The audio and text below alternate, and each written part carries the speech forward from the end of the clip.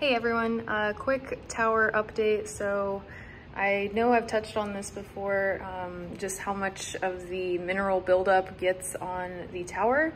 And for me, I mean, I've seen other people that have encountered this. I know it looks gross, but it doesn't matter like how much you wipe it down. I try to wipe it down um, at least like once a week, twice a week, but it just builds up really, really quickly. Um, and it's kind of difficult to really wipe off. Like you kind of have to scrape it.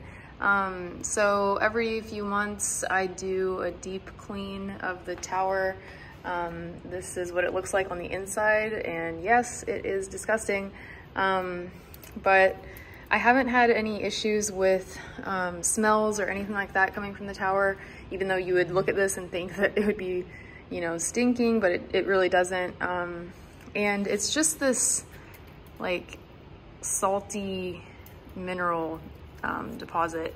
And then it kind of gets like, I guess that would be moldy, I don't know, but whatever. Um, it happens and there's really nothing that you can do about it, or at least in my experience, there's nothing I can do about it. Um, I've read a bunch of things online where people have encountered the exact same thing and they just kind of deal with it the same way I do, which is wiping it off kind of as you go. Um, so what I'm doing is just scrubbing each of the pieces with some uh, dish soap, dish soap, and some warm water.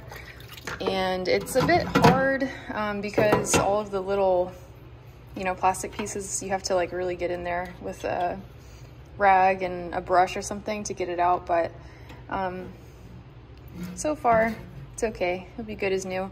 But I'm gonna be cleaning it up today and getting uh, some new seeds started and ready for spring. So hope uh, you guys are doing well and I'm excited to share with you what uh, my next crops will be.